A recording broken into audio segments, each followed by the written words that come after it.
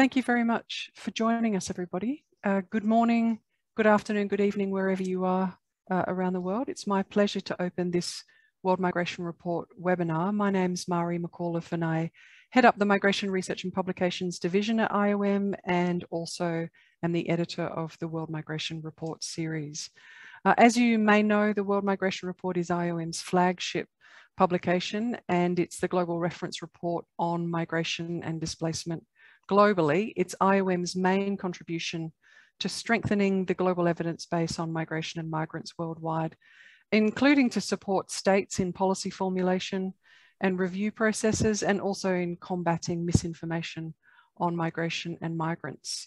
We're also finding uh, through uh, the years that IOM's World Migration Report is increasingly used for teaching, both at the tertiary level and increasingly at the secondary level as well.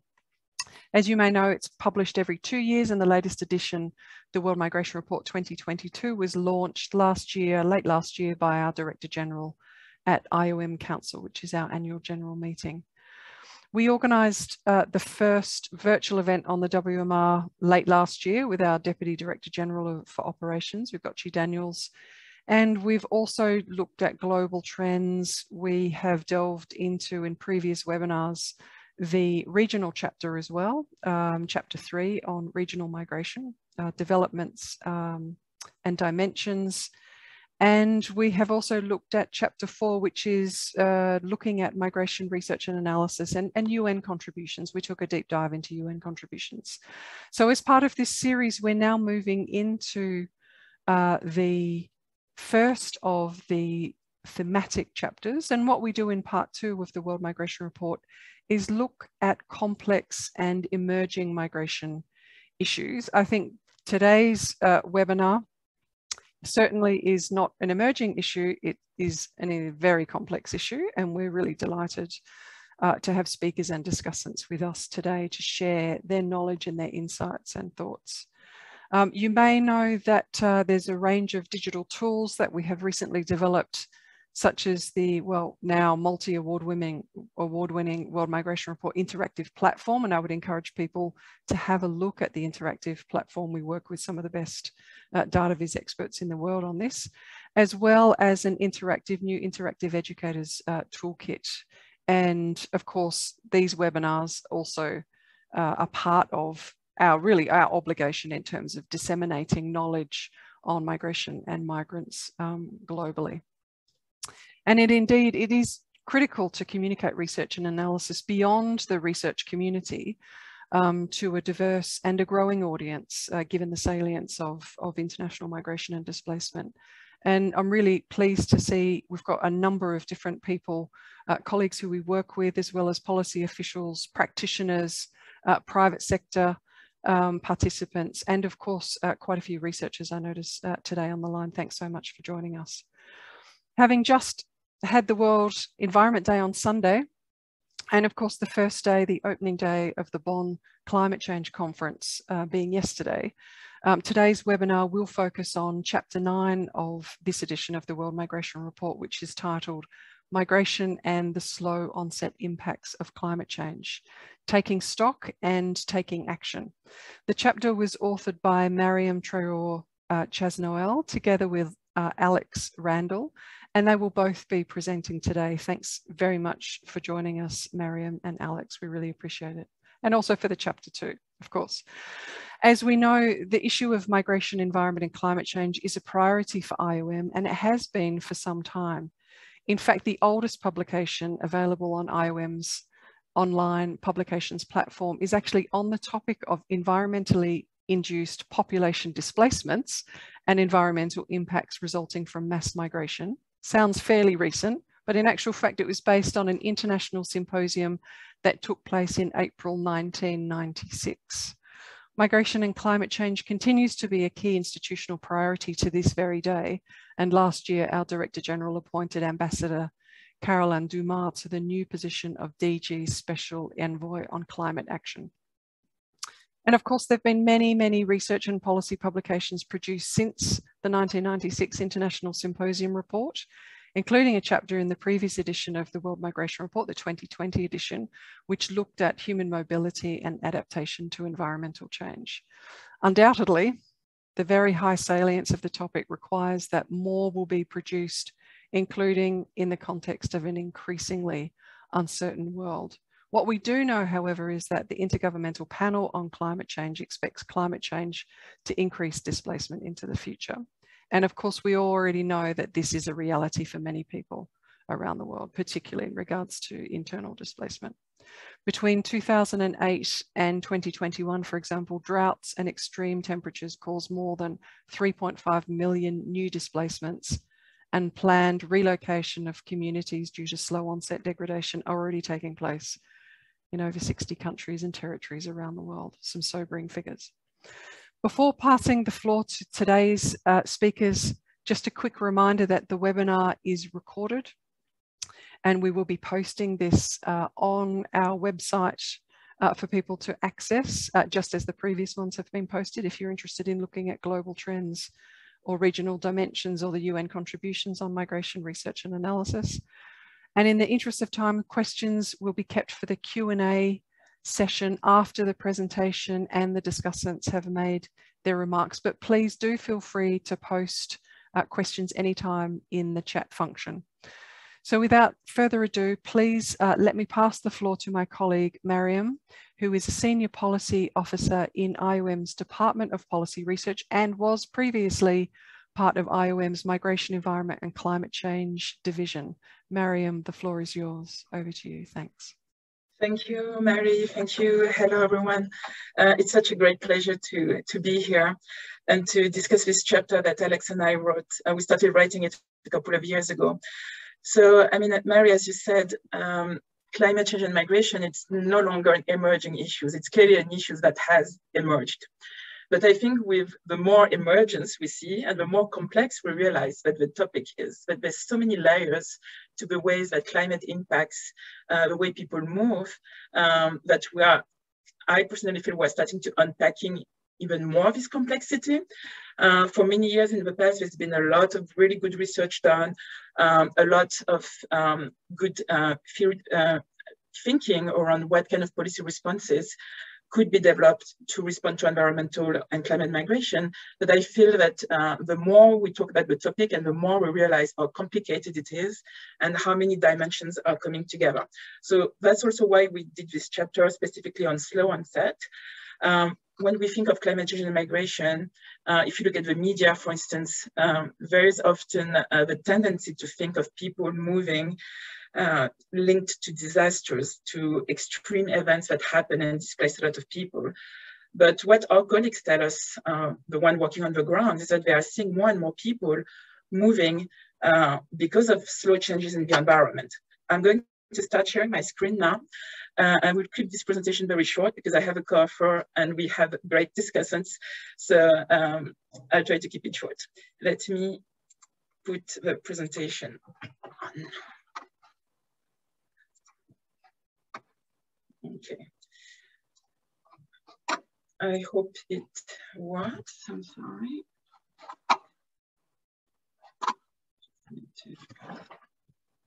I'm sorry, I need to put it on the full screen. Sorry for that. Here we go. Okay, so um, just as a reminder for the sake of, uh, of this discussion, we're using IOM's um, definition of climate change, of environmental migration, which is a very large definition. There's a lot of, of um, discussions around how we should call people moving because of climate impacts. Uh, we're not going to solve this discussion in this presentation, uh, but for the sake of, uh, of this uh, talk today, we'll use environmental migration. So in the chapter, we're looking at different uh, ways that slow onset changes in the environment interact with the movement of people. And this is kind of a summary of the main uh, issues that we have seen. Some of the points on this slide are related specifically to slow onset um, movements, movements linked to slow onset changes, but some of them are also applicable to environmental migration at large. So essentially, um, I would say that in terms of thinking of policy making to address the negative impacts of climate change on migration, one of the most complicated, um, but one of the clearest issue is that people move in different ways in relation to slow onset changes in their environment. They might move, they might look like they're forced to move, let's say when there is uh, a drought, but uh, they can also look like they are choosing to move. And this is, a, this is quite complicated, for instance, when we think of the connection with um, labor migration or economic reasons for people to migrate.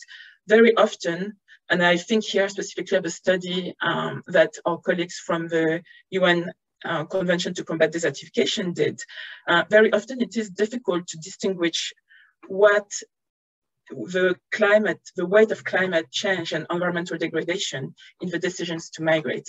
So for instance, uh, in the case of the study, uh, Moroccan migrants were saying, oh, we're moving primarily for economic reasons. But if you were discussing a bit more with them, the survey made it clear that these economic reasons were linked to um, impacts of climate change on their livelihoods.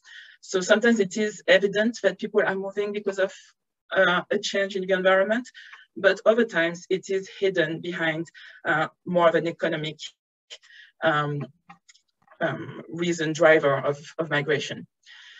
Um, another interesting dimension which is linked to slow onset events, it's the connection with uh, conflict, peace and security. So this is something that as IOM, we actually want to explore further uh, because the literature um, can be quite inconclusive at time.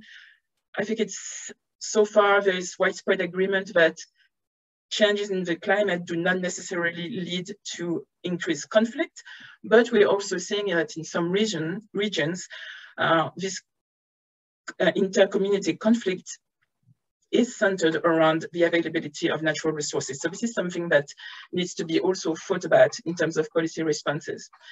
Um, another important point is the question of uh, urban moving from rural to urban areas. So because slow changes in the environment very often impact the very livelihood of, of rural people, for instance, those who work in agriculture, fishery, and so on, many of them uh, tend to move to nearby cities as opposed to uh, international migration or moving across border. So we have numerous examples, for instance, in Mongolia, of large numbers of people moving from rural to urban areas. But again, this is another dimension that we have as a priority uh, institutionally because we think that more work could be done on, on that. So very quickly in terms, of, in the chapter, we are looking at some of the data uh, related to slow onset uh, events and the impacts it has on the movement of people. I mean, there's a lot in there. You can you can check it out. I would say that the key thing to remember here is that we do not have complete data, but we have enough data points to know that we simply cannot afford to wait any longer in terms of policy responses. And we also have an idea of the kind of uh, movements that take place, where they're taking place, and um, what are they linked to. So of course, there's always a case to be made for uh, more complete data, more accurate data, more analysis. Clearly, this is needed for policy making, but we cannot use the lack of data as a, an excuse, let's say, to not take um, action now. Uh, linked to that, um, I think it's also important to think of um, the question of projections.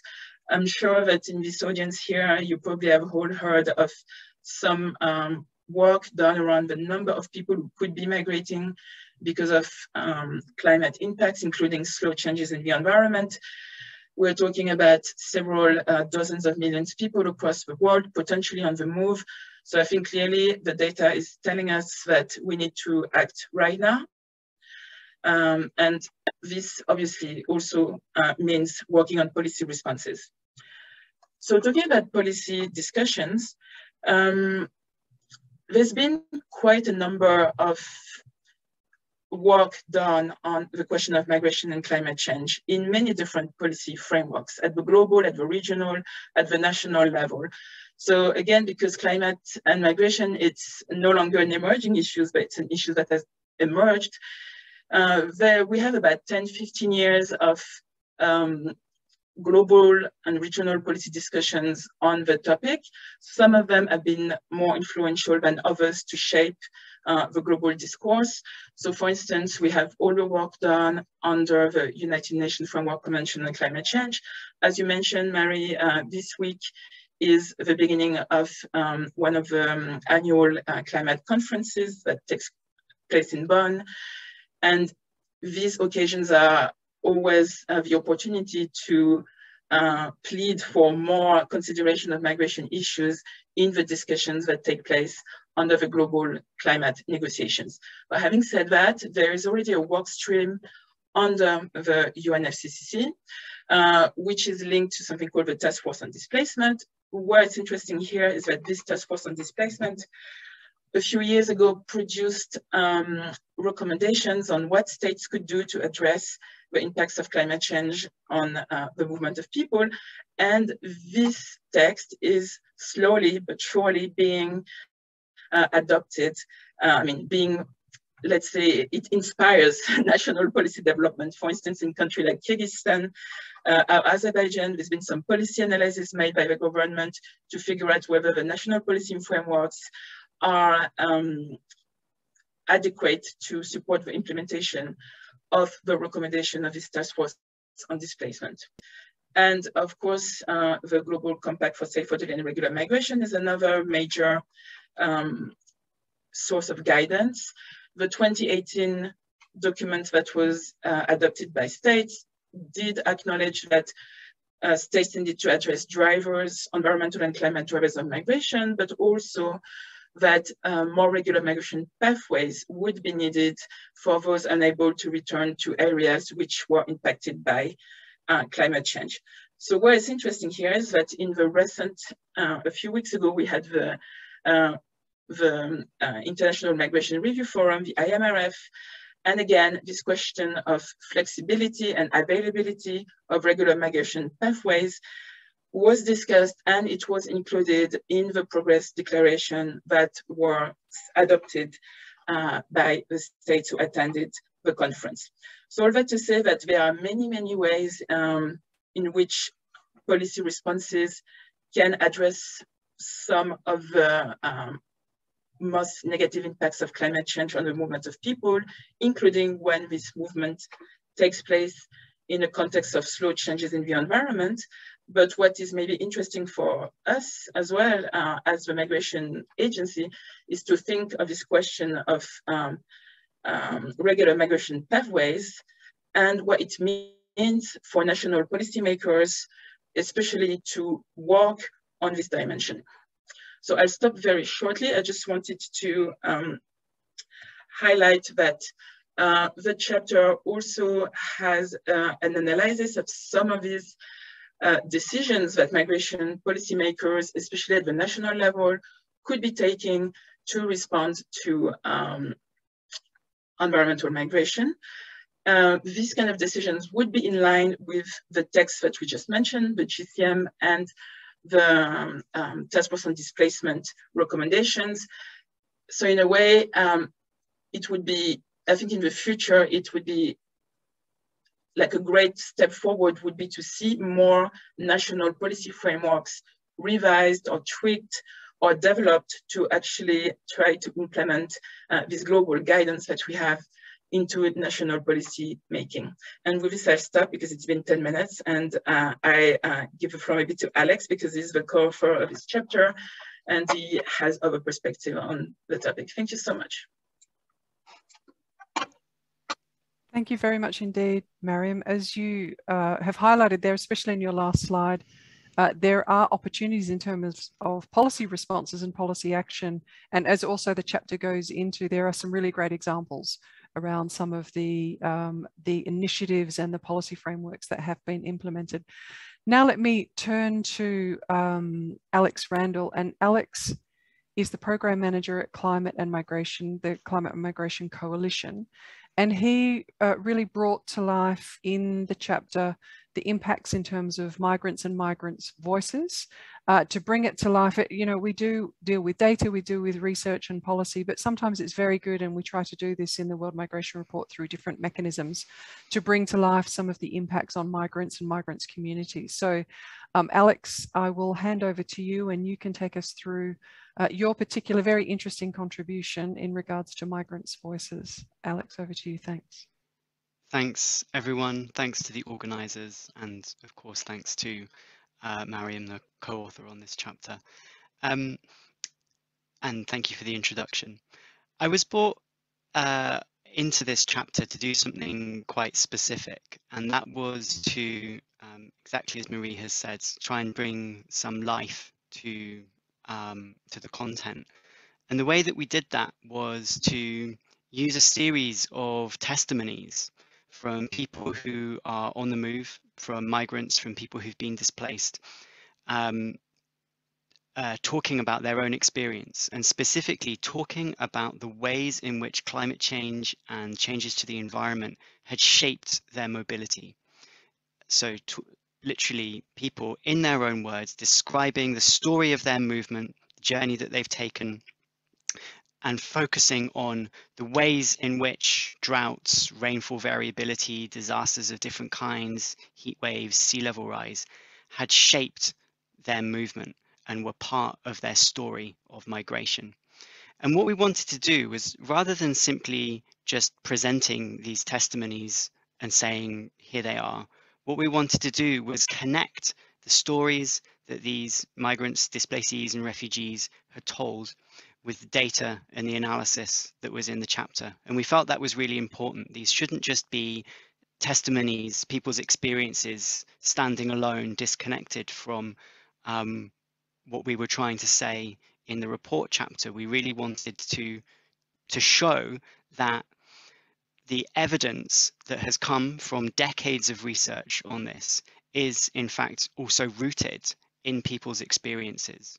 People's day-to-day experiences, often difficult, often traumatic, um, are actually a reflection of the data and the evidence that have been collected over the years. So we were really keen to show that connection, bring that data to life and, and kind of ground this chapter as far as we could in, in the reality of um, of what people are actually experiencing when they have an environmental or a climate change dimension to their mobility.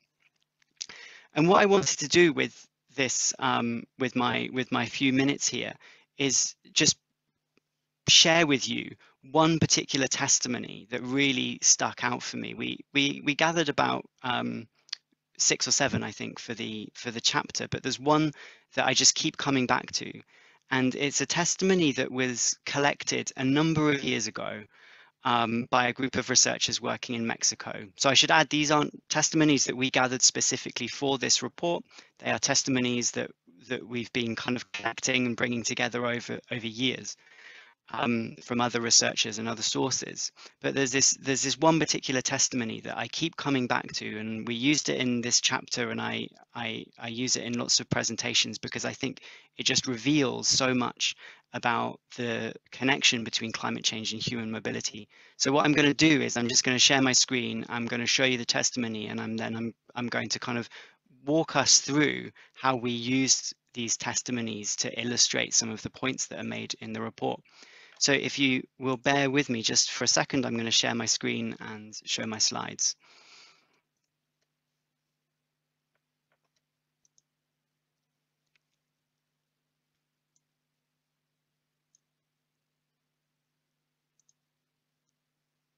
So hopefully you can see my screen now. And I'll just give you a moment to, to read that testimony to yourselves, just a few seconds just to digest it.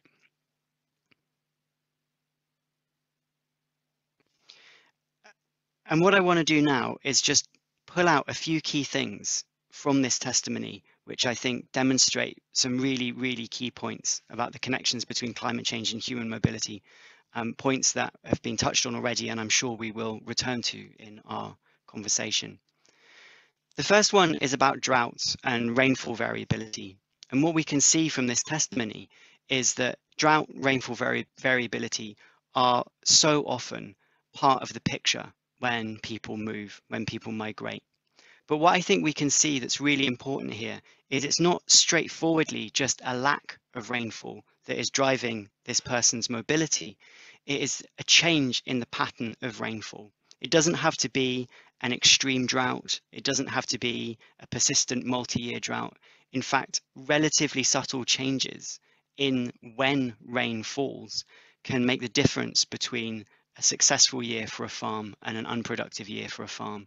And then from that, shape whether someone needs to migrate, whether they need to move in order to protect their livelihood because of that rainfall variability. And I think that's a really key point. We aren't necessarily talking about um, extreme droughts.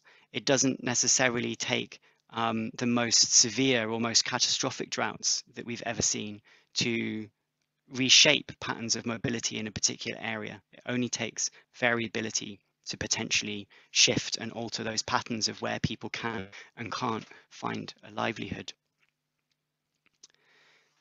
The second thing that I think is really, really interesting in this testimony is clearly um, the person here is talking about engaging in a pattern of seasonal and circular migration.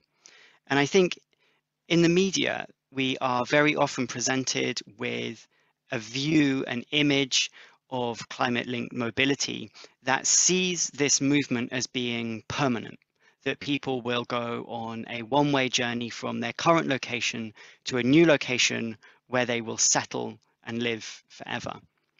But actually, a lot of the evidence that we have points to people using migration, using mobility as a way of shoring up their livelihood, as a livelihood strategy. And when they do that, they very often don't migrate permanently. People move initially, perhaps during a period of drought, and then return, perhaps when the drought alleviates. People very often migrate um, during the quieter parts of the agricultural calendar to find work elsewhere, and then return during the busier parts of the agricultural calendar as a way of shoring up their livelihood. So I think, although it is certainly the case that perhaps in the future, as the more severe, the more extreme impacts of climate change take hold, perhaps if the mitigation strategies that the world is currently working on are not as successful as we might hope, of course, it may be that many people do move permanently, and there are people who are moving permanently now.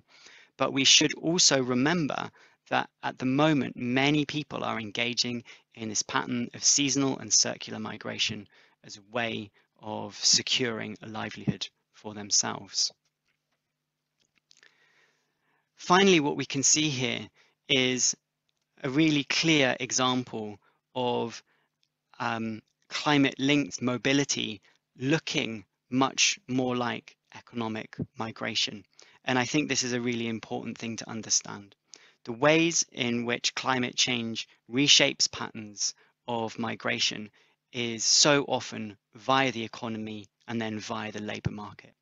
What we can see here from this person's experience is that the driving force behind their migration or part of the driving force behind their migration is looking to secure an income. Their income has been eroded by the rainfall variability that their area has experienced. So it may be that many of the people who have an environmental or um, specifically slow onset climate change dimension to their movement would in fact describe themselves, would describe their own experience as being one which is more like economic migration. It may be that they are counted when it comes to um, the statistics as, as migrants moving to find work rather than people moving due to the slow onset impacts of climate change. So I think that's a really important point for us to remember. Just because um, someone doesn't immediately define themselves as being a quote climate change migrant or having a very obvious climate or environmental dimension to their mobility does not necessarily mean that within their story, within their experience, within the drivers of their movement, there may in fact be climate change dimension. the reason that I keep coming back to this testimony, the reason that I think it's so interesting is because to me, it really tells us something about the complexity of the issue. What we can see here is someone who is moving um, in a seasonal and circular way. They're not moving in a straightforward one way um, migration pattern. They're moving because of rainfall variability. They're moving um, even though the rainfall variability hasn't completely decimated the agricultural area that they are from. Um, and, and, and finally, they are describing their own mobility as being existing at this nexus between the environment and the economy and the labor market. And I think that shows us so many important things about how these issues are connected. So I'm going to unshare my screen now. Um, and I think I've uh, just about used up my 10 minutes. Is that right? Right. Um, thank you um, very much, Alex. And yeah, thank you for thank you for your time for and taking us and, and and yeah, and stepping us through that. Certainly, um, uh, when uh, researchers, but also program managers working on migration around the world, you might be working in an embassy, you might be running a visa program in particular kind of uh, type of visa. It's very interesting when people tell their stories, they're not thinking in policy categories. They're not thinking about uh, whether they would fall into, you know, environmental displacement or whether they would fall into a kind of slow onset impact uh, climate change type of scenario.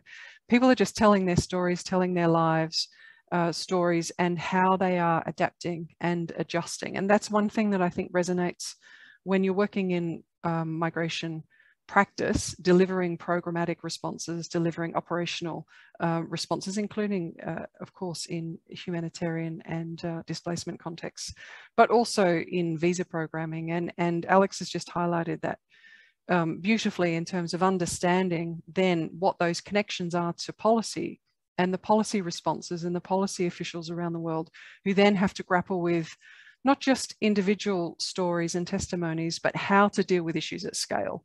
And as a policymaker, that's often a real challenge because anybody can come up with a bespoke response. But when you start to see issues change in terms of migration patterns and processes at scale, that's when you get into some of the so-called wicked problems um, uh, in migration and some of the real challenges, especially in regards to uh, rights of migrants and, and protection with a small p protection.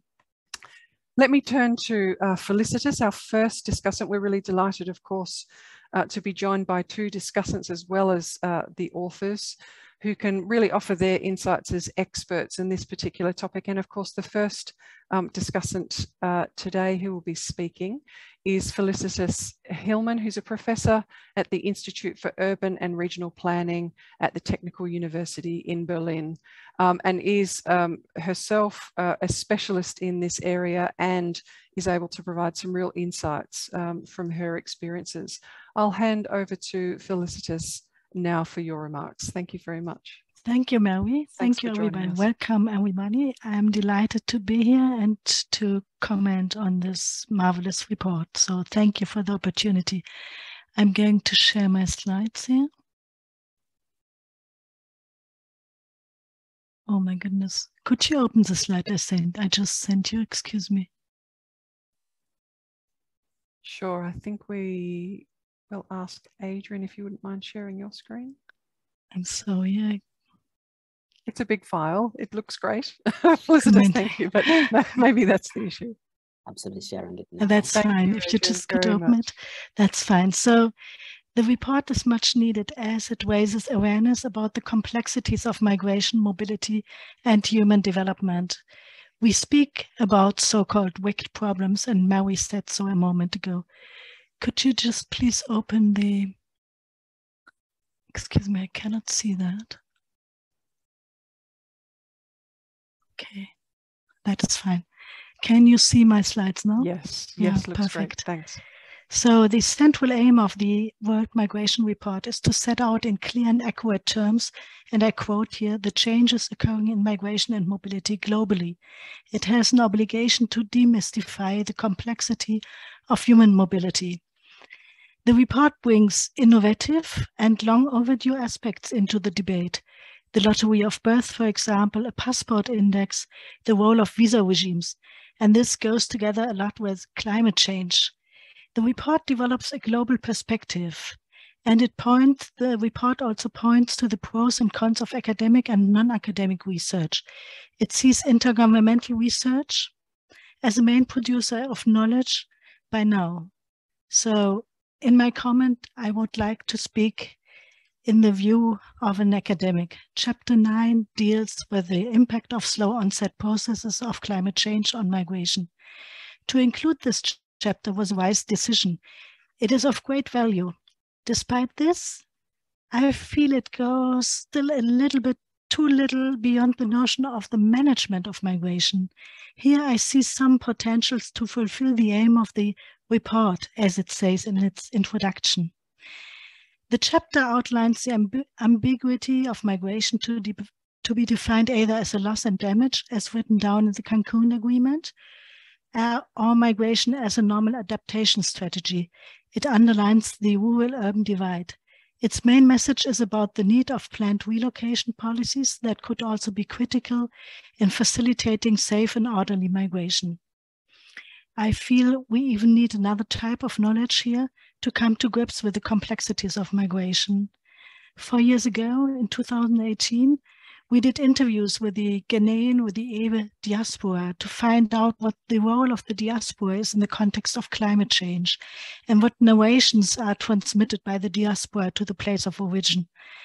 And the place of origin here was the Gulf of Guinea. So listen to that person. In one way or the other, one can say also environmental change also has to do with international migration because environmental change affects the people also in the city, not only in the villages. When there are no jobs, there's nothing happening in the country. Everybody wants to leave. There is no easy access to use water. There's no easy access to electricity.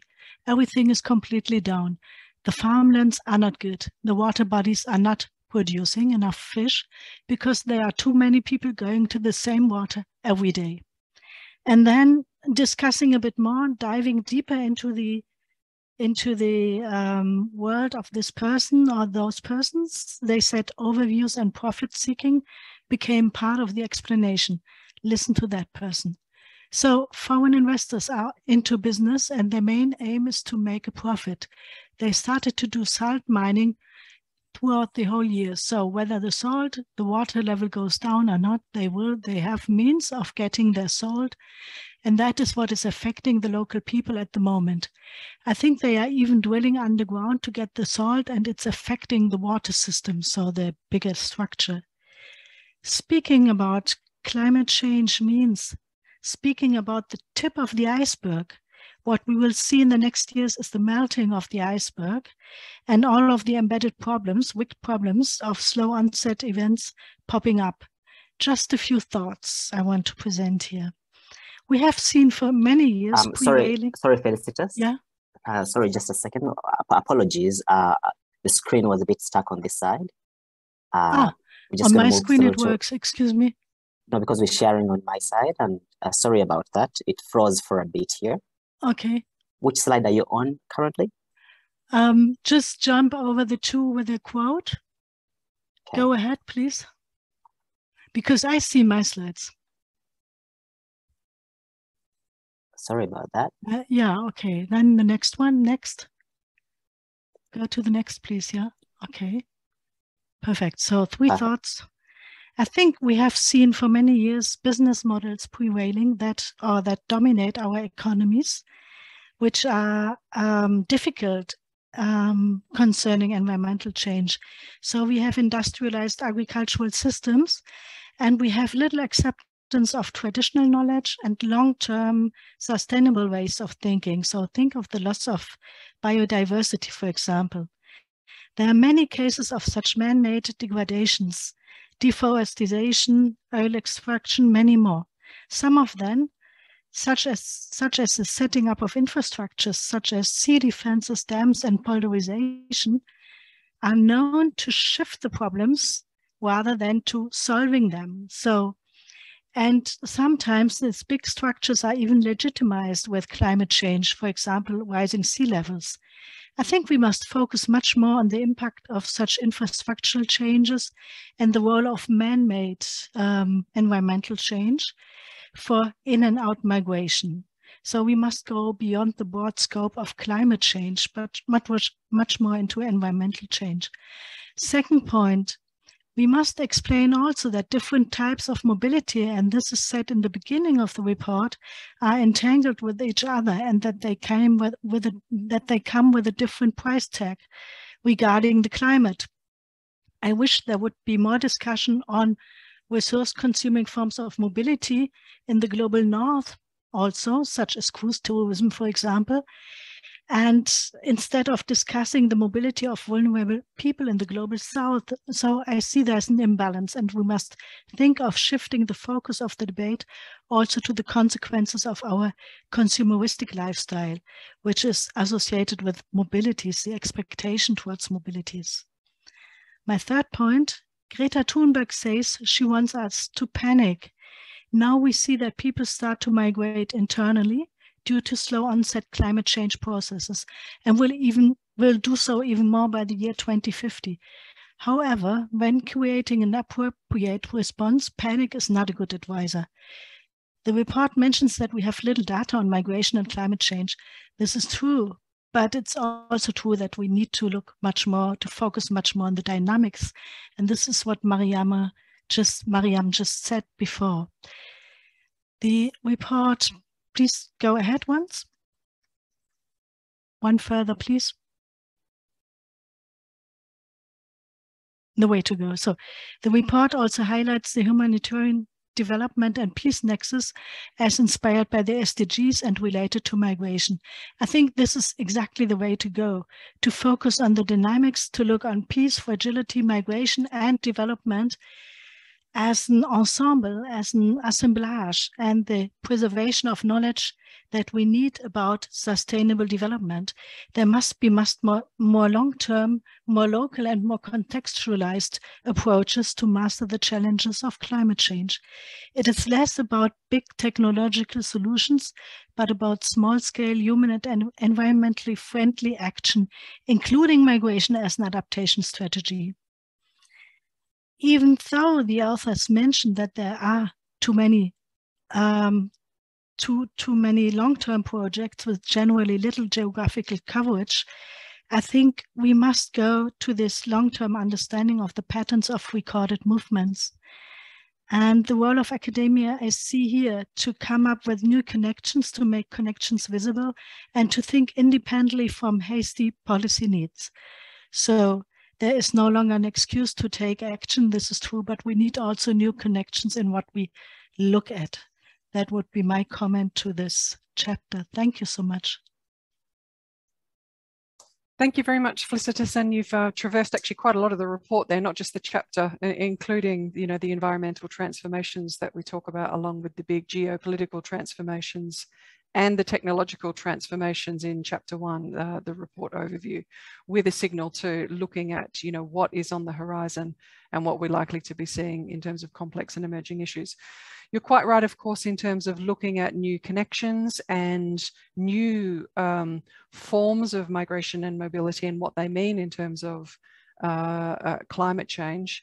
But as Mariam said, and I wholeheartedly agree with this, including as a former policymaker, you can't throw the baby out with the bathwater, as we would say in Australia, right. and utilising the very rich and growing um, evidence base for understanding what the future dynamics look like, looking at the current, looking at the current situation and the past and those long-term trends. Why um, do a historical research and analysis when you can actually draw on a wealth of information. And so that particular area in terms of climate change, I would love to say that we don't need to be dealing with it in the next edition of the World Migration Report, the 2024 edition. The unfortunate reality is that we will have to again uh, cover climate change and migration, but we will again be looking at a specific segment of it. We can't just cover migration and climate change. It's way too big. So we have looked at human mobility and adaptation, and we have looked at the slow onset impacts um, because again, it's it's just too big and complex to be able to chew off on, on a very, very large topic such as migration and climate change impacts. I'll now turn, uh, with thanks to Felicitas, we'll now turn to uh, Robert McLeman. And of course, Robert um, is one of uh, the world's leading experts, of course, in this particular area and has worked across policy and research, so has a deep knowledge, of course, um, in both worlds. Robert is currently a professor in the Department of Geography and Environmental Studies. Um, he's a teacher, he's a researcher. Again, as I mentioned, he's also a policymaker previously, um, and he's at Wilfrid Laurier University. I think we'll have uh, Robert's bio in the chat as well. So I will now hand over to uh, Robert for his remarks.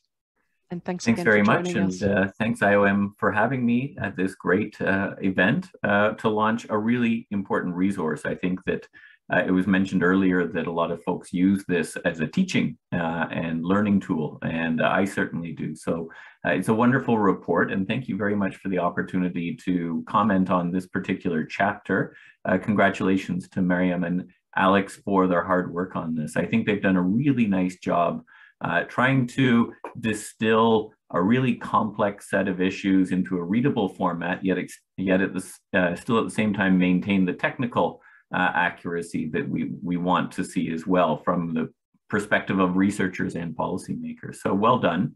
Uh, a few thoughts then. I don't have any slides, so I'm afraid you have to look at my, my mug for the next few minutes, but I'll try to keep it short and try to bridge into some Q&A and discussion and some things that I've seen pop up in the chat uh, so far.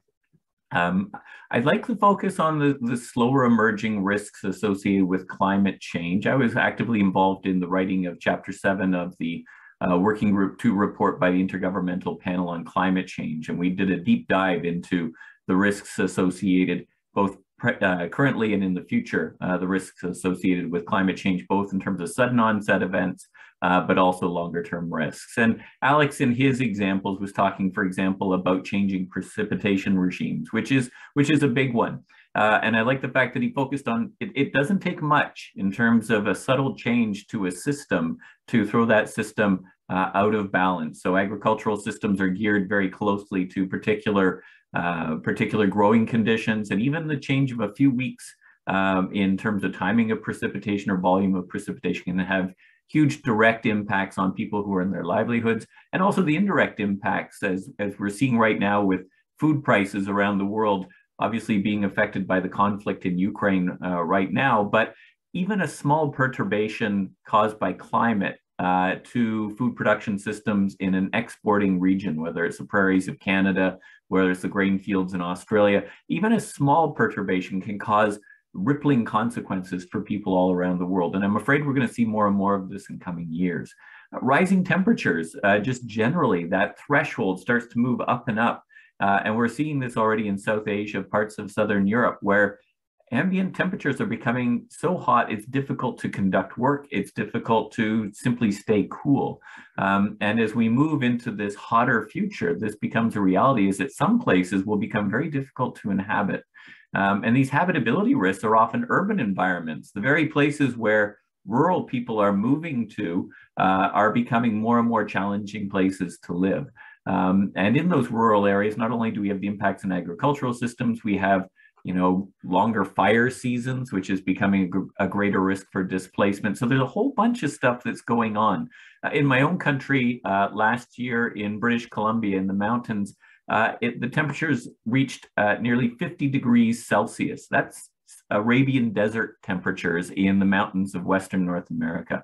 Uh, fires broke out, over 500 people lost their lives. Uh, we're already seeing these sorts of impacts. And then, of course, coming over the horizon very quickly are things related to sea level rise. And I, I personally am working uh, with a group in a community called Tuktoyaktuk in northern Canada, where the plans are being made to relocate that community because the, the location of the community is untenable uh, in the next 25 to 30 years because of rising sea levels and the increased risk of floods and erosion and so on.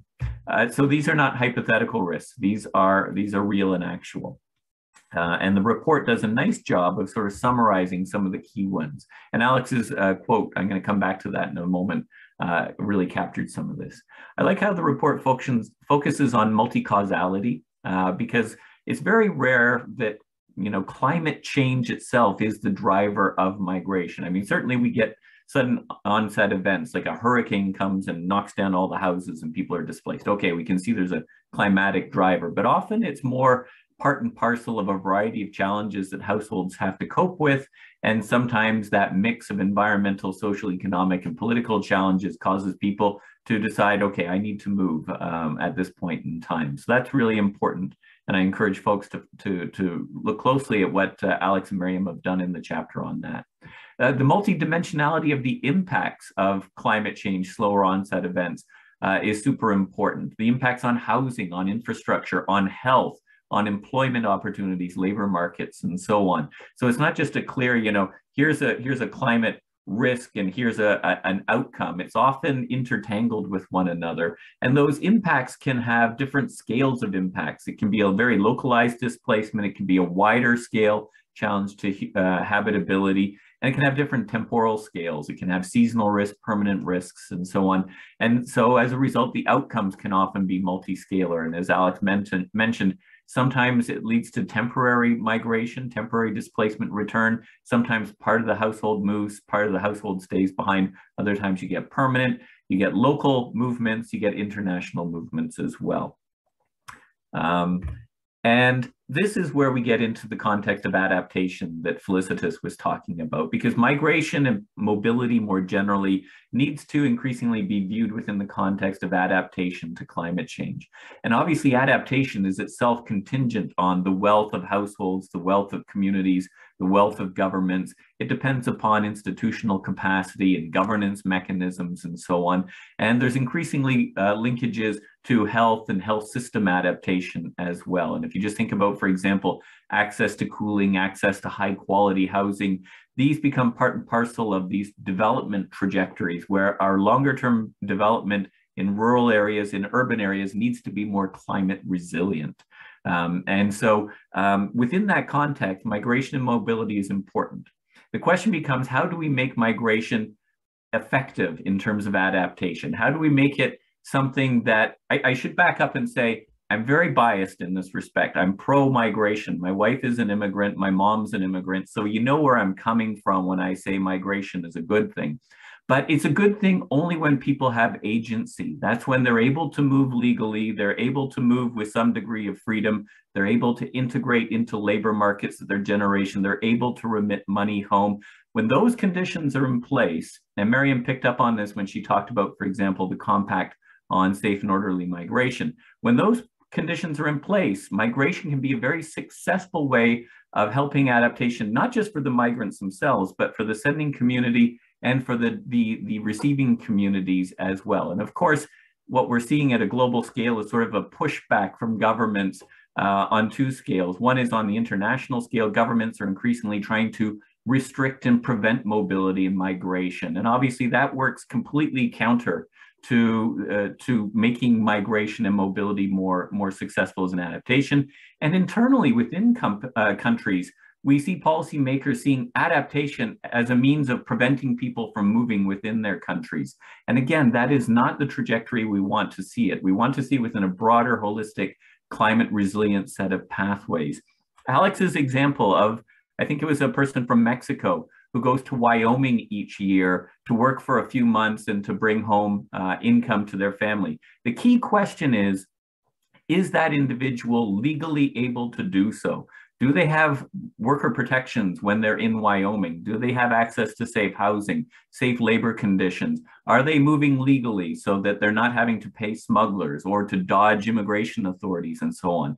Because that same act of moving from Mexico to Wyoming and back to earn money depending on the conditions under which it happens, it can benefit everybody or it can increase the risks to everybody involved. And so that's something that we need to think about. So my final point is on the client, on the policy challenges. And I saw there was a question in the chat about this. What can we do?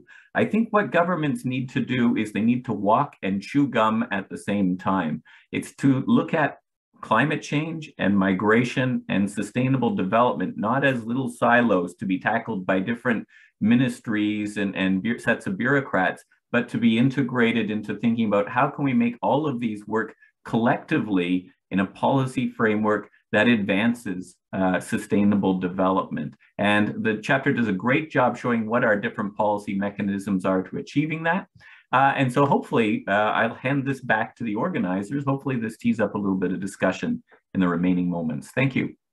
Thank you very much indeed, Robert. And um, I think it, we also hear a lot about, you know, working across different silos and different ministries within within governments, and that is challenging. To be to be frank, in my experience, it can be very very challenging to work like that within um, governments. However, what I would say is, given that um, migration and climate change and climate change more broadly is one of the global issues of our time, prioritizing those um, connections within governments and also regionally, sub-regionally, and also globally, I think is, is the point, uh, one of the key points of the chapter and one of the key points in including it uh, in the context of the World Migration Report and continuing the discussion and the dialogue through various mechanisms, including IMRF, um, amongst many others. So we might not be able to sort of break down those silos and work across um, uh, different governments on a whole range of issues, but I think everybody's in agreement that this is probably the one issue that we really do need to focus on, most definitely for, especially for our children and our grandchildren and our unborn uh, great grandchildren sort of futures and so forth. We do have a few questions in the chat. We are almost out of time, but what I would um, ask our authors and our discussants, if it is okay with you, if we go a little bit over time, the uh, attendees have very keenly put in questions in the chat. So I would like to um, really ask, particularly the authors in the first instance.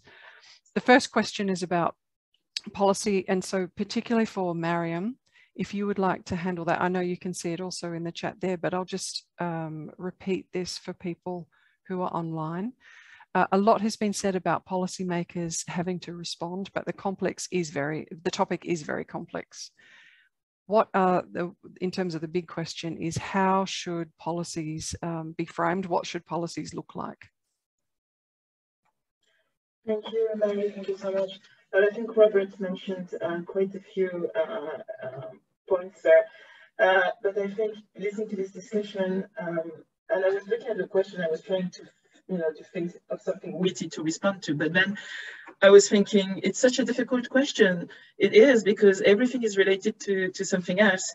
As you said, we, we need policymakers to work together, but uh, we also have examples in some countries of um, specific policies on climate change and migration. Um, so there's, there's so many things that could be happening in terms of policy discussions to respond to these questions. But having said that, um, both respondents also mentioned the question of political political will of states and um, political sensitivities. So from that perspective, I think there is a limit to um, what can be done in terms of policy responses. And that limit uh, is probably around something Robert mentioned, which is uh, admitting more, um, more migrants. Having said that, I don't think um, this is an excuse to not discuss um, regular pathways for people affected by climate impacts. I think it's clear that this is um, something that where uh, countries can take um, like concrete action, whether it's developing labor migration agreements, whether it's uh, implementing regularization program. Uh, there's a lot that can concretely be done. But also from a political perspective, um, and that also goes back to the second question, which is what can we do to address uh, internal migration? Well, clearly there's a lot of focus on addressing the drivers, uh, the climate and environmental drivers of migration so people don't move, which is not always detrimental when the people do not want to move, but can become a problem if people want to move. So what does it mean in terms of policy responses? Um, it's basically taking into account uh, the migration dimensions, the movement mobility dimensions of existing climate change mitigation and adaptation measures, um, amplify the work already done in the hope that um, this kind of mitigation adaptation work will reduce uh, migration. But if I may say, it, in theory and ideally, it should only be reducing uh, forced migration, people who don't want to move and not necessarily keep people um, in place. Over. Thank you very much, um, Mariam. I'll, I'll, hand over to Alex, very conscious of time. And, and Alex's uh, kind of key point really in terms of uh, policy is listening to people, thinking about their stories, their impacts and what that then translates to in terms of policy frameworks and policy responses, which is a bit of kind of mental gymnastics often, including when you're working in policy environments, because you have a range of disparate and sometimes conflicting information and evidence that you have to take into account. Um, so let me hand over to Alex and more broadly, not just on the chapter, Alex, but from your experience, I'm sure that you've got some very rich insights to share. Yeah, uh, thank you. And uh, thank you to our questioner as well. Um, yeah, it's a really great question. And I think um, one of the key things that I think it's important to understand about the way a lot of policymakers approach this question is very often they they approach it with the wrong question, right?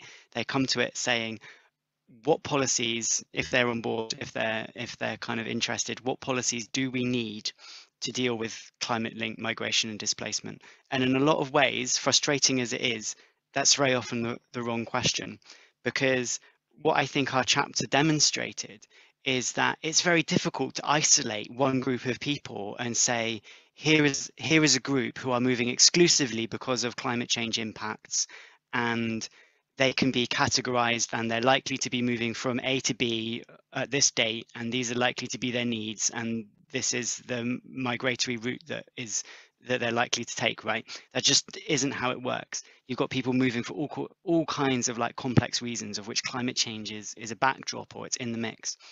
And I think what that entails is creating um, my creating policies which protect all migrants, which protect all people who are on the move, right?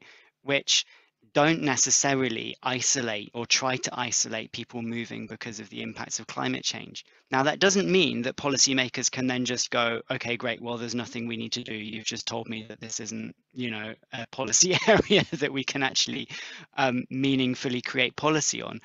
What I think it means is that the policymakers need to step back kind of one one step and say, what does it look like to protect all migrants, all refugees, and all people on the move in an era of climate change? I think that's the way to approach approach this policy question.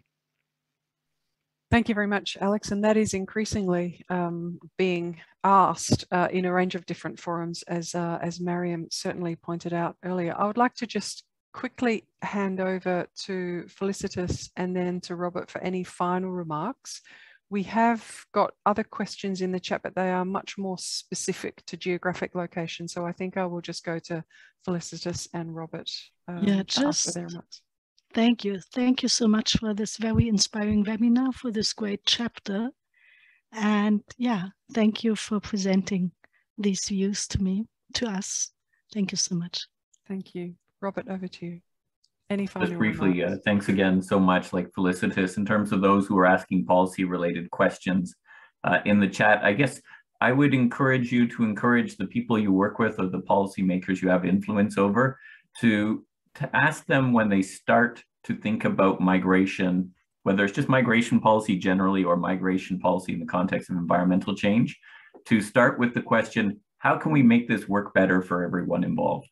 If they start from that departure point, I think then the, the, the policy pathways are more promising than if you say, oh, hold on a sec, this is something we're kind of worried about. How do we prevent this from happening? I mean, the root cause, if you want to prevent climate migration from happening, uh, you know, cut back on your greenhouse gas emissions. That's the ultimate uh, policy decision. But apart from that, on the migration side of things, just ask, how can we make this work for everyone?